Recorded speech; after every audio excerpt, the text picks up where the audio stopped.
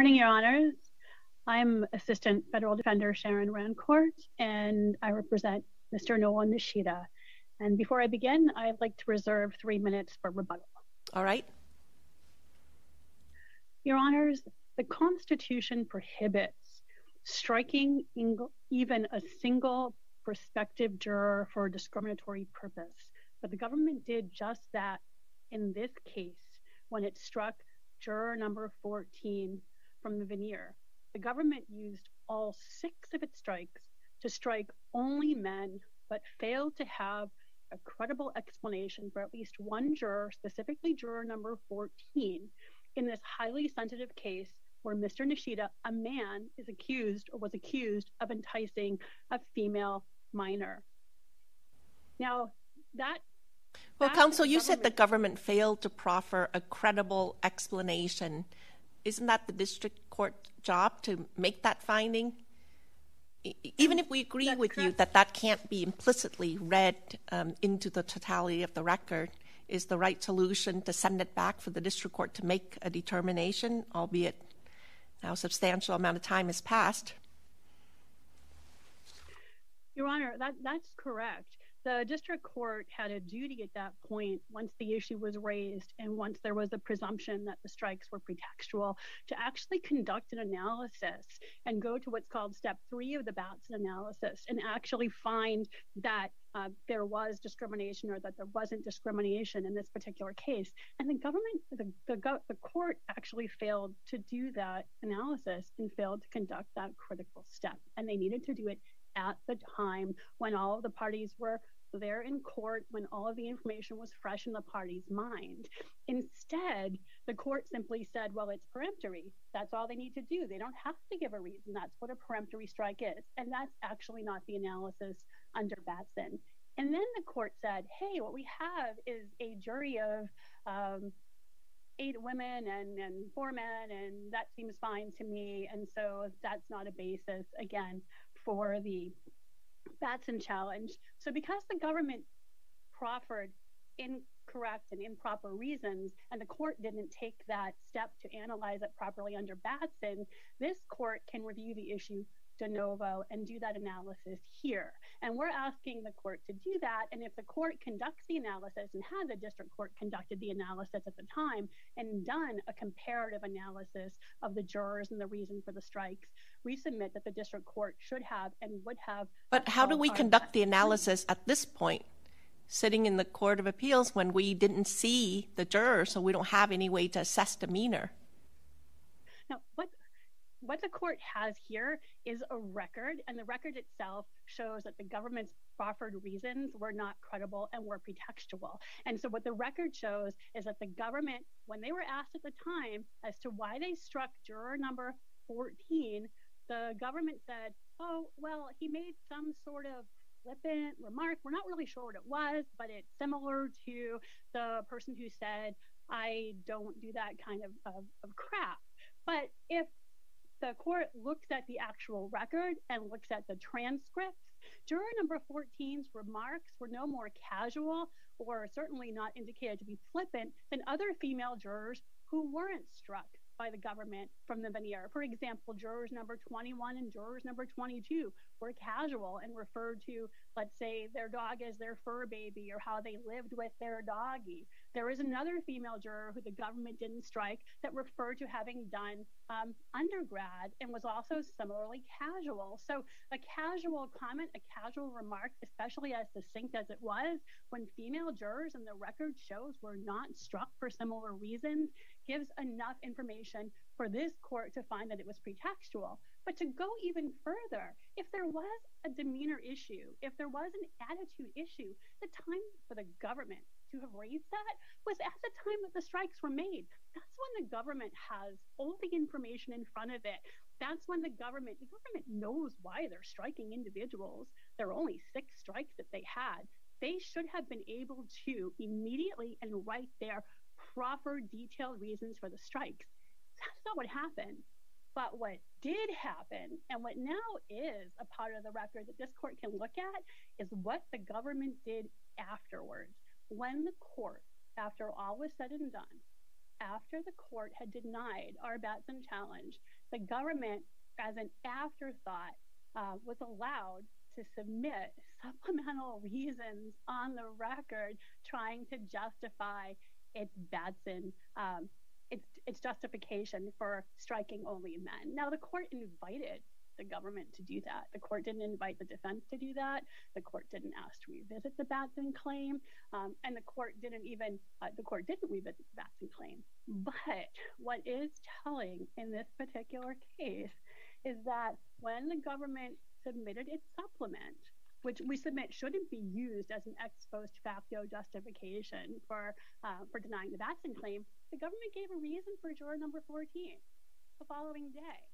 And that's when, for the first time, the government says that we struck juror number 14 based on demeanor, based on body language, based on appearing disengaged, crossing arms, making other jurors laugh.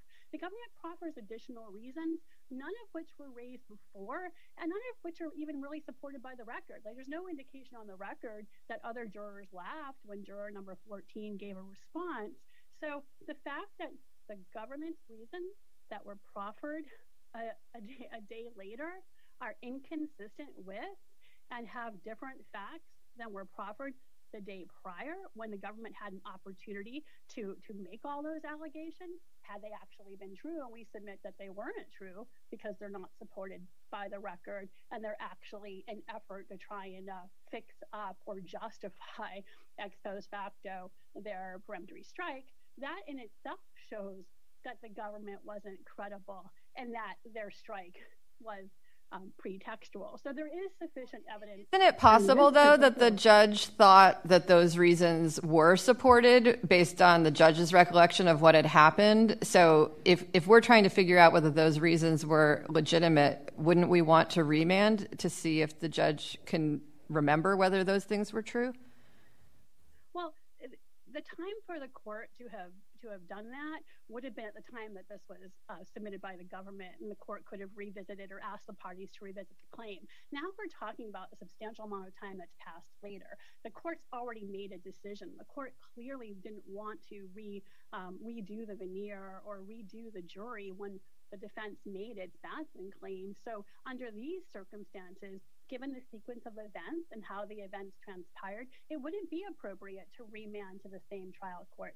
The same trial judge who unfortunately didn't make any observations at all, um, he didn't make any observation that she thought or believed the government was credible at that time, didn't use those words, didn't say, I find that there's credibility or I find that there is or there isn't purposeful discrimination, didn't do any of that, didn't indicate that she believed or that anything was corroborated on the record. And then that judge also significantly did not, after additional evidence was submitted, didn't uh, make any additional finding or ask to supplement or say that yes or no, she agreed that that was appropriate or that was supported by by the record. The judge simply let it let it lie and let it be out there. And also, the court in this case... I have a question about your, uh, one of your arguments in your reply brief is that it's not your burden to persuade this court that it must call the trial prosecutor a liar. It seemed like you were saying we don't really need to decide whether what the prosecutor said was the reason was true, but isn't that exactly what you are asking us to decide? I'm wondering if you could explain what that argument was about.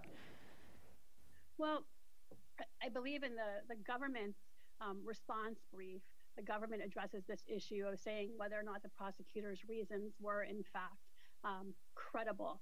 Our burden is basically to show based on all the circumstances and based on the record that it's pretextual. And we believe that we've done that based on a comparative juror analysis. Now, if it's pretextual, doesn't that mean it's not true and it is a lie? I'm confused about the distinction you're making.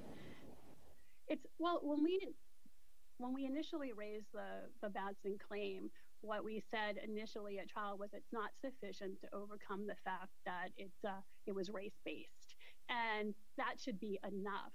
We're not obligated to instruct or tell the court how then to proceed to the next stage of the analysis. It's the court's duty to step in and to conduct that analysis, whether or not the defense asked the court to do that. But the court didn't The court didn't do that. So it would be passed off to the court, and it is the court's responsibility, regardless of whether the defense um, asked the court to conduct an analysis. Had the court done that, and had we moved to a comparative analysis, and had we gone case by case through all of the jurors and through the record, we would have seen that it was pretextual. So specifically, actually using the word liar, that's a very a very strong word. Insufficient, it's not credible. The cases call for a credibility determination. We can say, based on this record and based on the supplement, which was done actually after the fact, that it's not credible, that the prosecutor's reasons were disingenuous and pretextual, because they weren't proffered at the original time. Counsel, if I if I if I could just jump in. Sorry, it's hard with the Zoom sometimes. Um, so the statement made in court that day by the prosecutor was, yes, we struck him. Yeah, and that was based in part on an answer that where he had made sort of a flippant comment. In part. So you've said that the two explanations are inconsistent. Seems to me the prosecutor at the time was saying, yeah, we based it in part on a flippant comment. She did not say we based it 100% on the comment, and that the written submission that was submitted the next day was the other part. So if that's the, if that, maybe that's, you can tell me why that's a wrong reading, but the prosecutor did not say we based it 100% on the answer. It was based in part. Um, well, the time to have given the full reasons or their full explanation was when they were asked before the court decided and denied the Batson claim, not afterwards. No, I appreciate that would be the better procedure, but you've accused the prosecutor of basically saying one thing one day and the exact opposite the second day, and as I'm reading the statement here, that's not what the prosecutor said. So unless I'm reading it incorrectly, the prosecutor did not say, yeah, we did it because they made the statement. They say in part. So how do you reconcile in part with the statement that what they said the next day was completely the opposite of what they said during trial? Well, thank you. I would say that it's inconsistent with what they said at trial because it expanded and gave different reasons. It didn't expand on the same reason. It didn't follow up on the word flippant. It actually produced additional reasons that weren't originally on the record. So we would say that the inconsistency, the supplementation, the actual effort now to justify and come up with different reasons isn't isn't sufficient and indicates that the original reason was in fact pretextual. So we should read the word in the phrase in part out of what the prosecutor said? Well, in part without any other explanation is no explanation. If they had just said we struck in part because we have no reason. Well, I think that's why that's why the district court asked for for supplementation of the record, right? Because her um, order to the government was very specific. It's like, look, I don't have access to the transcript right now. I don't even have access to a rough transcript. And so to the extent the government was vague in mentioning body language, I want to supplement the record a little bit more on that because the judge sitting there apparently uh, didn't have an independent recollection of exactly what the government said. So it seemed like the court just wanted to uh, give the government an opportunity to clarify rather than supplement it with additional reasons. Well, isn't that a fair way to look at the record? The government indicated when they submitted its response that they were just parroting was actually already on the record. But that wasn't true because when they submitted their supplement, they added additional reasons that actually aren't supported by the record. And again, the trial judge at that point, had the trial judge been unsure, the trial judge could have stayed the proceedings or could have taken a timeout or could have asked the court reporter to read back the record or could have taken a moment to examine it at that time when that was being made and then made that appropriate comparative analysis and that determination. But the court didn't do that. The court denied it. Did the defense follow up in any way to say we've now received the government's explanation and the government's comments as to the demeanor and the body language uh, is not consistent with what the defense observed in court? No, because the defense wasn't asked to respond. The court simply asked the government to present a supplement. The defense wasn't invited or instructed to respond. And there was no indication that there was going to be any further argument or any further debate on this. And the court didn't come back and even try and revisit its finding. Now, we believe that the entire procedure was improper because once the court decided to come back after the fact and ask for an additional explanation, in this case, would have uh, basically negated the entire purpose of the Batson claim before the jury was impaneled. When we raised the Batson claim, we raised it before the jury was impaneled. We raised it as soon as we were aware that we believed that these strikes were based on a pretext, that the government was striking only men. So the court the court in their request to the government wasn't uh, inviting that we revisit and that we re-argue. The court was asking the government to put on the record uh, what the record actually showed. But the government didn't do that because what the government ended up putting on their on their response went well beyond, well beyond and far exceeded what the record actually shows if one looks at the record and the entire venire and what all the different jurors said. And in fact, if one looks at the record and the entire venire and the voir dire, there wasn't very much voir dire done by the government at all in this particular case. In fact, the government focused on one particular juror, I believe Mr. Mendoza, and asked several questions of that particular juror, but didn't really follow up or try and explore or ferret out other particular jurors. So there isn't anything... Thank you, counsel. I'm sorry for interrupting, but you're actually over time, but I'll put some time on the clock for rebuttal. Let's hear from the government. Uh, thank you, Your Honors. Um, like Ms. Rancourt, I say good morning because that's what it is here in Hawaii, and this is the Hawaii session. Um, but uh, good afternoon to you. I am Marion Purcell. I'm an assistant U.S. attorney here in the District of Hawaii, and I represent the United States in this case. Um, I think we need to take a moment to think about um, how this proceeding uh, occurred uh, in court. Um, what was really going on in the ground? The jury had been selected at the point that the uh, defense raised this Batson issue, but the entire venire was still in the room. It's clear on the record that the judge had asked the folks who had not been selected to remain in the room, and so you had the whole venire as well as the uh, selected uh, 12 and the two alternates. Um, at that point, they go to sidebar, and the, um, uh, I think it was Ms. Rancourt, there were two defense attorneys present, um, said, we just realized that there that the government has exercised all six of its peremptories against men. The prosecutor responded, and I don't have the exact words in front of me, but it's pretty close. Um, yeah, that's true, now that I think of it, communicating very clearly to everyone at sidebar that she had not noticed that um, until it was brought to her attention by the defense.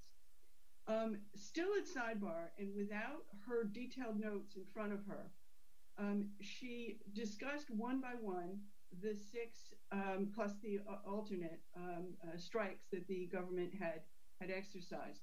She did that from memory. We know that because at one point, the court allows her to go back to counsel table to pick up her notes to discuss the strike of the alternate.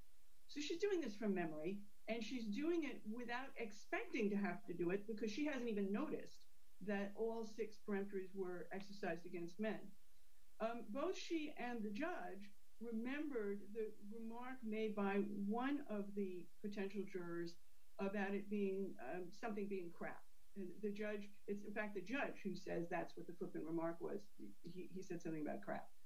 So when she gets to the juror that we're talking about, juror number 14, she remembers that he also said something flippant, but it doesn't come immediately to mind what that remark was.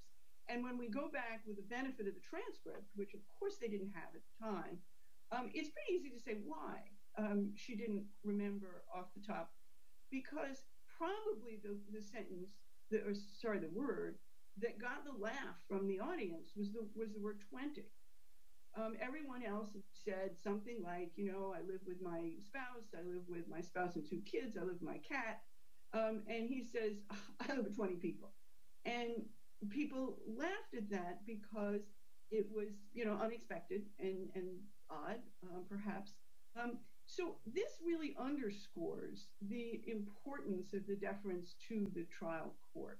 We can't see this. I wasn't in the courtroom either. Um, I'm also reading a cold transcript. Um, I'm doing an educated guess about what probably happened because I can picture people laughing at that 20 if it was said in a flippant, you know, judge, I don't really want to tell you about all the people I live with. So I'm going to say a big number so you won't ask me. Now, of course, he didn't say any of those words, but his demeanor probably communicated, I'm not taking this terribly seriously. And the word 20 isn't inherently funny. So when the prosecutor is thinking back, she doesn't remember exactly what he said, but she remembers that his demeanor uh, gave the appearance of not taking things seriously. So this may um, all be your your account of what happened and the idea that when the prosecutor said, oh, yeah, that is true, like that it was believable that that's the prosecutor was really just thinking of it for the first time. If all of that is true, what's the harm in remanding to the district court to have the judge say, oh, yes, I did believe the prosecutor. I just didn't say that on the record. Um, your Honor, I'm not sure there's harm exactly, except that it's completely unnecessary in this case. It's completely unnecessary. Um, one point that I particularly wanted to make is that in Alanis, which is probably the best case uh, for the appellant um, uh, here uh, on this issue, um, Alanis, there are two things about Alanis that are that are markedly distinguishable. We know the facts are really distinguishable because in Alanis, it was clear on the record that the prosecution had removed um, men who were similarly situated to women they did not remove. Um, so that's an easy distinction between this case and Alanis. There's another real point in Alanis. Um, one of the problems that uh, this court had with the district court's decision was in Alanis was that the district court had not, and I'm quoting, announced a deliberate decision accepting or rejecting the claim of purposeful discrimination. In Alanis, what the district court had said was, it appears to the court that the government has offered a plausible explanation based on each of the challenges discussed that's grounded other than in the fact of gender of the person struck. A plausible explanation is what this court uh, latched onto in Alanis. In contrast, in this case, the district court said that the makeup of the jury, quote, combined with the explanations given, I think are sufficient to overcome your concern about whether there was gender bias with strikes. That is uh, the announcement required by Alanis. Um, the judge in this case did say that, um, did reject the claim of purposeful discrimination and went beyond just saying it's a plausible Uh, explanation. Um, it's also really important. Like the judge was, is it possible that the judge was mixing up peremptories and what Batson is about? I mean, it seems like there might have been some confusion about what is required. I'm not sure we know that the judge was considering the right things, do we?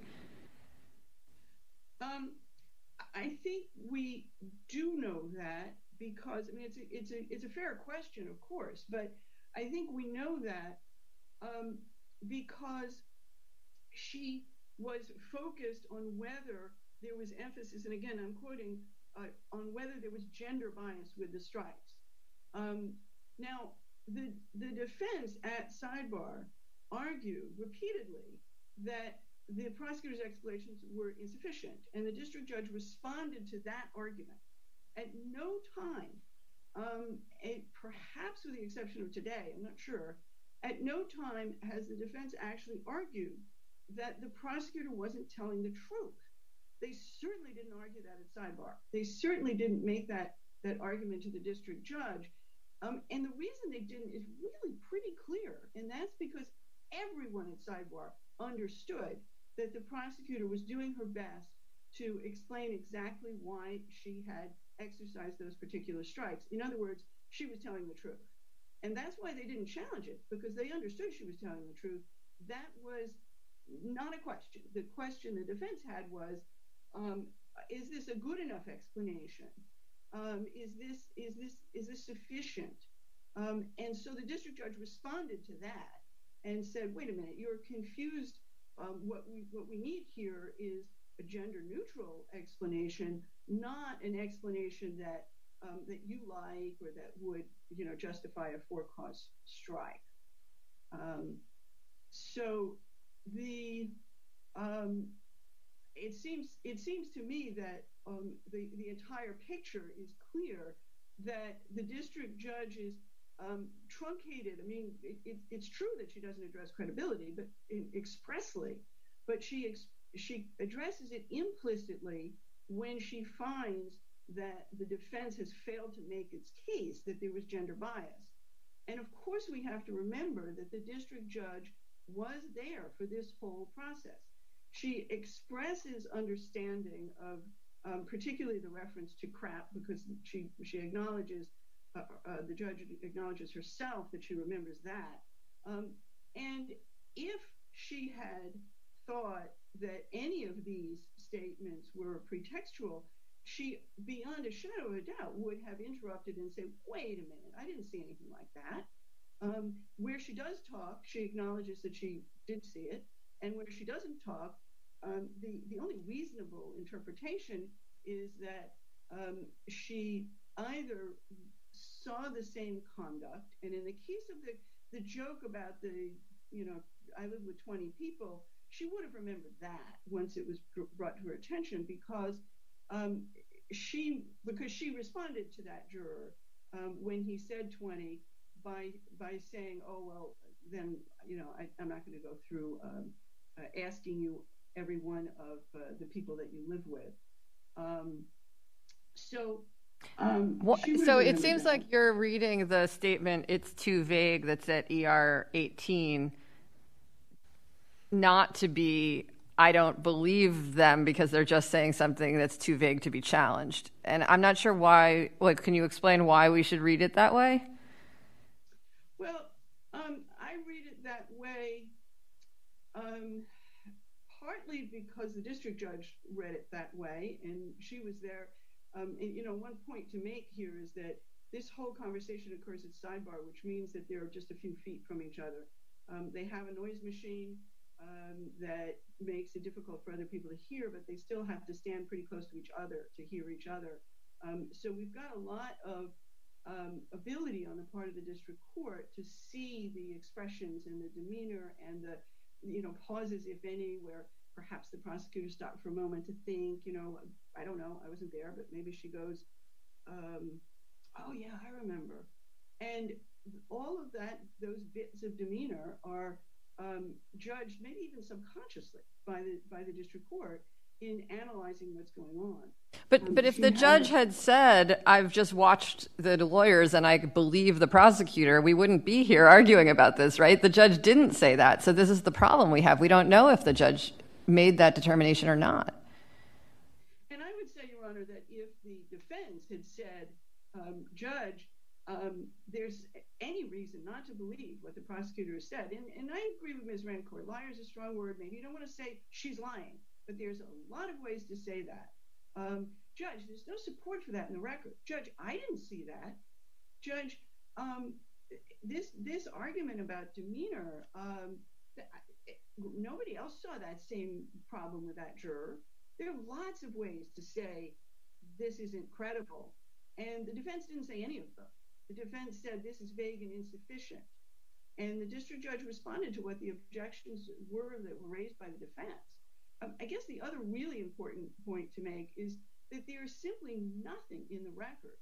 If you were to get to de novo, and I don't um, think you need to do it, but if you if you were to get to de novo, in contrast with Alanis, there's absolutely no evidence in this record of intentional discrimination. Um, Ms. Rancourt only raises one example, and that's the the lady who lives with, I forget if it was a cat or a dog, lives with a pet, and jokes about the pet being you know, her living companion.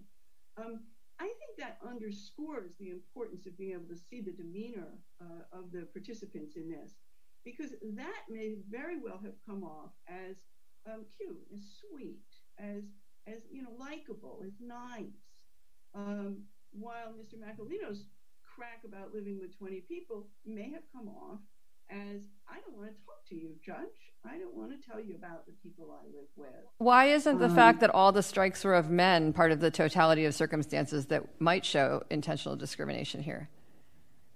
I don't think the fact that all the strikes were men gets past step one under Batson. Um, it arguably sets up a prima facie case. It certainly doesn't show intentional discrimination, where the prosecutor was able to articulate um, an uh, independent, non-gender-based reason for striking each and every one of those uh, jurors, um, nearly all of which aren't even contested. Um, remember, a couple of them were were uh, very, very clear. The person with a DUI who doesn't raise his uh, his hand when he's asked about arrests, for example. Um, most of those strikes aren't even contested, and there's nothing in this record put together uh, individually or all together that would indicate that the prosecutor had the slightest intent to discriminate against men. And in fact, there's I would argue that there's nothing about the underlying case that would suggest it either. In most cases where intentional discrimination has been found, it's pretty obvious why the prosecutor um, might have wanted one gender versus another. Um, in this case, it seems to me that um, at least men with children might have been uh, at least as outraged uh, as women uh, at the conduct that they were learning about in the course of this trial. I don't see that there is a motive in this case for eliminating men from the jury in the first place. So I don't think there's any support for the the claim that there was any intentional discrimination. Anything else? Thank you, counsel. Let's put two minutes on the clock for two minutes on the clock for rebuttal. Thank you, Your Honor.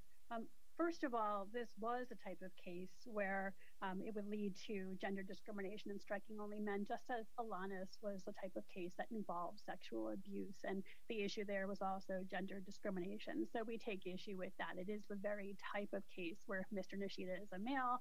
It's a sex abuse case or enticement case involving a purported minor female, and the individuals that were struck were all, like Mr. Nishida, um, men.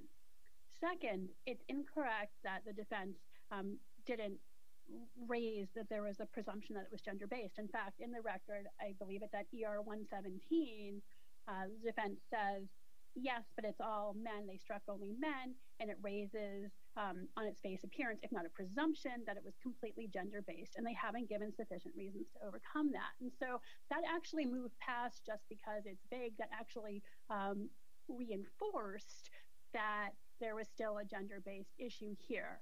We also believe that your honors are correct in that the, the trial judge misunderstood what she was supposed to do um, in sense and kept on referring to it back as a peremptory and was confusing what a peremptory strike is with what needs to happen and the import and the constitutional import of Batson. And again, under Batson, it's only one juror. One discriminatory purpose is sufficient under Batson to uphold the claim. And so the court didn't do that. In addition to that, even if the defense doesn't ask the court to go to the third step and do the analysis, the court is required to do that. And the court is required to do that even if the prosecution offers a race neutral explanation for the peremptory. So the court can't escape that. It's incorrect, as the government asserts, that the court somehow didn't need to do that. The court didn't do that here. The court said it's a peremptory. They don't need to do any more. And by the way, we have uh, eight women and four men, and that's that's sufficient. That's not the analysis that Alanis talks about under Batson, and it's not the analysis that the court did here. And again, if one does the comparative juror analysis, which the court should have done and did not do, then it would have seen that the record didn't support that. To talk about the reasons that were given at sidebar, let's talk a little bit about that. We actually we have the record counsel, and you're actually over time. So if you can wrap it up, please. Oh, Thank you. The government knows why they're striking, uh, why they're striking individuals. They should have readily been able to articulate those reasons when the government submitted its supplement. They purported to say they were actually just parroting the record, but they weren't. They were adding additional. That indicates that it wasn't credible. It was pretextual. We're asking this court to uphold our Batson claim and to conduct a de novo review and to reverse this case and not to send it back to the trial judge, Your Honors, please, to instead make the decision which the court is able to do here and find de novo on the record that our Batson claim should be upheld. Thank you. Thank you very much to both counsel for your arguments today. Uh, the matter is submitted for decision by this court, and we're in recess.